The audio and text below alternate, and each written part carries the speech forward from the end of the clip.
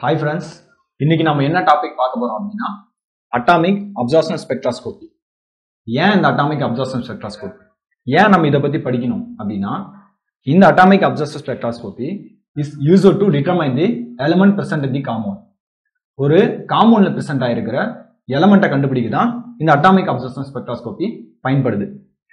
சரி அப்படி என்ன இதில் ஸ்பெஷல் ஏன் இதில் வந்து எலமெண்ட்டை கண்டுபிடிக்க? இந்த மெத்தடை வந்து எல்லாரும் ப்ரிப்பேர் பண்ணுறாங்க அப்படின்னா இந்த மெத்தடில் நம்மளால் ட்ரேஸ் எலமெண்ட்டையும் மெட்டாலிக் எலமெண்ட்டையும் கண்டுபிடிக்க முடியும்.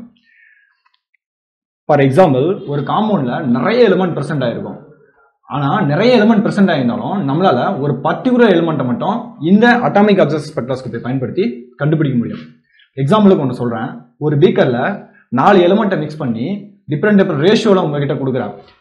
Sodium copper silver gold. இந்த நாலு எலிமெண்ட்டையும் மிக்ஸ் பண்ணி ரேஷியோ உங்ககிட்ட நான் சொல்றதில்ல உங்ககிட்ட கொடுக்குறேன். நீங்க வந்து அட்டாமிக் அப்சர்வ் ஸ்பெக்ட்ராஸ்கோபி பயன்படுத்தி இதுல எது எது என்னென்ன ரேஷியோல இருக்கு அப்படின்னு சொல்லி சொல்லுங்க அப்படின்னா உங்களால சொல்ல முடியும். ஒரு பர்டிகுலர் எலிமெண்ட்டை நான் கேட்டாலே உங்களால சொல்ல முடியும். ஃபார் எக்ஸாம்பிள் சோடியம் மட்டும் எவ்வளவு இருக்கு அப்படின்னு நான் சொல்லி உங்ககிட்ட கேட்டா உங்களால இதை பயன்படுத்தி சோடியம் மட்டும் எவ்வளவு இருக்கு அப்படின்னு சொல்லி சொல்ல முடியும். ஏன் அப்படின்னா இந்த மெத்தடில் ஒவ்வொரு எலமெண்ட்டுக்கும் ஒவ்வொரு ஸ்பெசிஃபைடு வேவ் லென்த் வந்து ஃபிக்ஸ் பண்ணியிருக்காங்க. For example five eighty nine நானோமீட்டர்ல சோடியத்தை கண்டுபிடிக்க முடியும். அந்த பர்டிகுலர் வேவ் லென்த்தில் நம்மளால் ஃபைவ் சோடியத்தை மட்டும்தான் கண்டுபிடிக்க முடியும். ஏன் அப்படின்னா அந்த சோடியம் எலமெண்ட் வந்து அந்த பர்டிகுலர் வேவ் லென்த்தில் மட்டும் அப்சர்வ் பண்ணும். அதர் எலமெண்ட் வந்து அந்த பர்டிகுலர் வேவ் லென்த்தை அப்சர்வ் பண்ணாது. இதுதான் இந்த மே- இந்த அட்டாமிக் அப்சர்வ் ஸ்பெக்ட்ராஸ்கோப்பியோட ஸ்பெஷல் ஸோ இந்த அட்டாமிக் அப்சர்வ் ஸ்பெக்ட்ராஸ்கோப்பியில் என்ன மெக்கானிசம் நடக்குது அப்படின்னு சொல்லி நம்ம பார்த்தோம்னா இதில் சாம்பிள் எடுத்துப்பாங்க. அது என்ன மீடியத்தில் டிசால்வ் ஆகுதோ அந்த மீடியத்தில் அதை டிசால்வ் பண்ணிப்பாங்க. டிசால்வ் பண்ணிவிட்டு அந்த சாம்பிளை ஹீட் பண்ணுவாங்க. ஹீட் பண்ணும்போது it will be converted to the vaporised state vaporise ஸ்டேட்டுக்கு போகும். வேப்ரைஸ் ஸ்டேட்டில் நிறைய எலம நிறைய ஆட்டம்ஸ் வந்து ப்ரெசென்ட் ஆயிருக்கும். அதில் சில ஆட்டம் வந்து கிரவுண்ட் ஸ்டேட்டில் இருக்கும் சிலது வந்து எக்ஸிடர் ஸ்டேட்டில் இருக்கும். இந்த எக்ஸிட் ஸ்டேட்டில் இருக்கிற ஆட்டம்ஸ் பற்றி படிக்கிறது என்ன அப்படின்னா அட்டாமிக் எமிஷன் ஸ்பெக்ட்ராஸ்கோப்பி இந்த அட்டாமிக் எமிஷன் ஸ்பெக்ட்ராஸ்கோப்பியை பற்றி நம்ம வேறு வேற வீடியோவில் பார்க்கலாம். இப்போ நம்ம பார்க்க போகிறது கிரவுண்ட் ஸ்டேட்டில் இருக்கிற ஆட்டம்ஸ் பற்றி மட்டும்தான். ஏன் அப்படின்னா இந்த கிரவுண்ட் ஸ்டேட்டில் இருக்கிற ஆட்டம்ஸை பற்றி பார்க்கறது எதுனா அட்டாமிக் அப்சர்ஷன் ஸ்பெக்ட்ராஸ்கோப்பி ஸோ இதுதான் இந்த சிம்பிள் தேரி தான் மெக்கானிசமாக இந்த அட்டாமிக் அப்சர்ஷன் ஸ்பெக்ட்ராஸ்கோப்பியில் நடக்குது.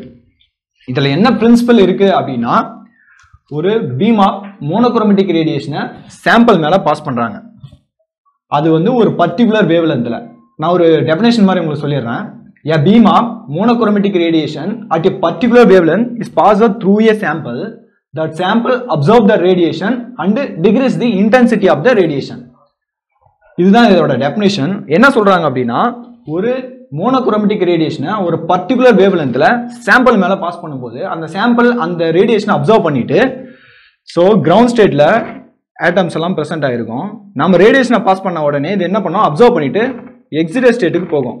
இப்போ என்ன பண்ணியிருக்கோம் எக்ஸி கிரவுண்ட் ஸ்டேட்லேருந்து இருந்து ஸ்டேட்டுக்கு போகிறதுக்கு சம் எனர்ஜியை நாம் பாஸ் பண்ண ரேடியேஷன்லேருந்து வந்து எடுத்திருக்கோமா? என்ன பண்ணோம்?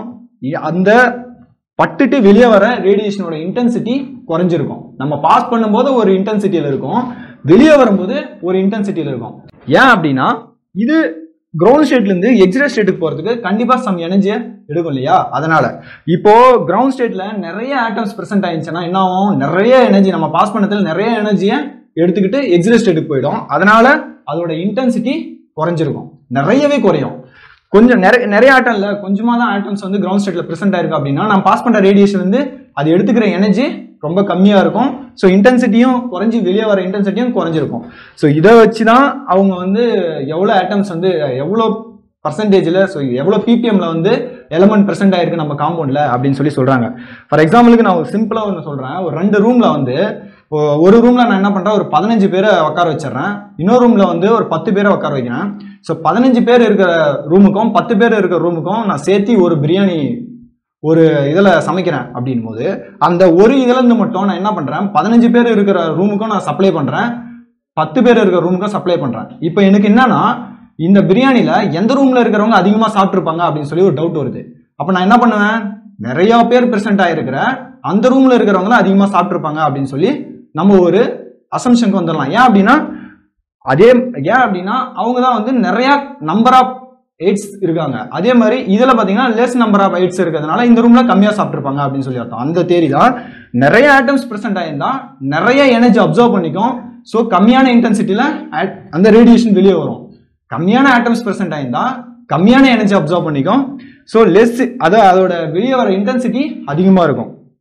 ஸோ இதுதான் சிம்பிள் சிம்பிள் பிரின்சிபல் இதில் வந்து அப்ளிகபிளாக இருக்குது ஸோ இதோட ஃபார்முலா என்ன அப்படின்னா nu is equal to five E square divide by MC into NF so இதுதான் இதில். இந்த பிரின்சிபலில் அப்ளிகபிள் ஆகிற ஃபார்முலா இந்த மியூக்கு என்ன இருக்குன்னா நான் சொன்ன மாதிரி total number of atoms present in the ground state அதுதான். Total number of atoms present in the ground state அதுதான் நியூ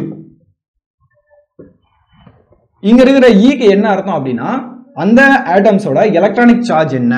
அதுதான் இந்த இ ஸோ எம் அப்படி அப்படின்னா என்ன? அப்படின்னா ஸோ இங்கே இருக்கிற எம் என்னன்னா அந்த ஆட்டம்ஸோட மாஸ் எவ்வளோ? So mass of the atom அது ரெஃபர் பண்ணுறது தான் எம் சின்றது நம்ம பாஸ் பண்ணுற ரேடியேஷனோட வெலாசிட்டி எவ்வளோ இருக்கோ அதுதான் சி எஃப்ன்றது அந்த ரேடியேஷன் வருது இல்லைங்க அதோட ஆசோலேஷன் ஃப்ரீக்வன்சி எவ்வளோ இருக்குது அப்படின்றது எஃப் ஸோ இந்த ஃபார்முலா பேஸ் பண்ணி ஸோ இங்கே பிரின்சிபல் இருக்குது பிரின்சிபல் இந்த ஃபார்முலா இப்போ நம்ம இதை பார்த்துட்டோம். இந்த அட்டாமிக் அப்சர்ஷன் ஸ்பெக்ட்ராஸ்கோப்பியில் நம்மளால் சில எலமெண்ட்டை வந்து பார்க்க முடியாது. அது என்ன எலமெண்ட்னா நான் மெட்டல்ஸ் ஸோ நான் மெட்டல்ஸை நம்மளால் இந்த அட்டாமிக் அப்சர்ஷன் ஸ்பெக்ட்ராஸ்கோப்பை பயன்படுத்தி பார்க்க முடியாது. ஏன் அப்படின்னா மெட்டல்ஸ்க்கு வந்து இது அப்ளிகபிள் நம்ம ட்ரேஸ் எலமெண்ட்டையும் பார்க்கலாம் மெட்டாலிக் எலமெண்ட்டையும் பார்க்கலாம்னு ஆல்ரெடி சொல்லிட்டேன். ஆனால் நான் மெட்டலுக்கு பார்க்க முடியாது. ஏன் அப்படின்னா இந்த நான் மெட்டல்ஸ்லாம் என்ன பண்ணும்னா ரேடியேஷன் அப்சர்வ் பண்ணோம் இல்லையா? அந்த அந்த லெவல் அந்த வேவ்லென்த்தோட இது எவ்வளோ இருக்கும்? நேனோமீட்டர் வந்து எவ்வளோ நம்ம பாஸ் பண்ணோம்னா ஒன் எயிட்டி ஃபைவ் நானோமீட்டருக்கு கீழே தான் அப்சர்வ் பண்ணும். அப்போது அந்த நான் மெட்டல்ஸ் வந்து ஒன் எயிட்டி ஃபைவ் நானோமீட்டர் கீழே அப்சர்வ் பண்ணுறதுனால இது என்ன பண்ணும்? வேக்கம் அல்ட்ரா வயலட் ரீஜியன் அப்படின்னு சொல்லி சொல்லுவாங்க. ஸோ வேக்கம் அல்ட்ரா வயலட் ரீஜியன்றது வந்து ரொம்ப கஷ்டமான ஒன்று ஆனால் யூவி விசிபிள் ரீஜன் வந்து நம்ம நிறைய இடத்துல பார்க்கலாம். அது எவ்வளோ இருக்கும் பார்த்தா one eighty to three eighty nanometer இது வந்து யூவி ரீஜியன் விசிபிள் ரீஜியன் வந்து three eighty to seven fifty nanometer இந்த ரீஜியனில் வந்து என்ன பண்ணுவோம்? மெட்டல்ஸ் எல்லாமே நம்ம பாஸ் பண்ணுற ரேடியேஷனை அப்சர்வ் பண்ணிக்கும் ஸோ அதனால் ஒவ்வொரு எலமெண்ட்டுக்கும் இந்த ரீஜியனில் வந்து ஸ்பெசிஃபைடு வேவ் லென்த்தை வந்து பிக்ஸ் பண்ணியிருக்காங்க ஆனால் இந்த நான் மெட்டல்ஸ்க்கு மட்டும் என்ன பண்ணிட்டாங்க? ஒன் எயிட்டி ஃபைவ் நானோமீட்டருக்கு கீழே அது வந்து அப்சர்வ் பண்ணுறதுனால அதுக்கு வந்து ஸ்பெசிஃபை பண்ணல. ஸோ அதனால் நம்மளால அட்டாமிக் அப்சர்வ் ஸ்பெக்ட்ராஸ்கோப்பியில் நான் மெட்டல்ஸை வந்து பார்க்க முடியாது. ஏன் அப்படின்னா யூவிசிபிள் ரீஜியனில் அந்த நான் மெட்டல்ஸ் வந்து அப்சர்ப்ஷன் பண்ணுறதில்ல ஸோ அதனால் தான் இந்த மெத்தடோட ஓவரால் தேரி நான் சொல்லிட்டேன். ஸோ இன்ஸ்ட்ருமெண்டேஷனும் அப்ளிகேஷனும் அட்வான்டேஜ் டிஸ்அட்வான்டேஜ் இது எல்லாத்தையும் நம்ம நெக்ஸ்ட் வீடியோவில் பார்க்கலாம்.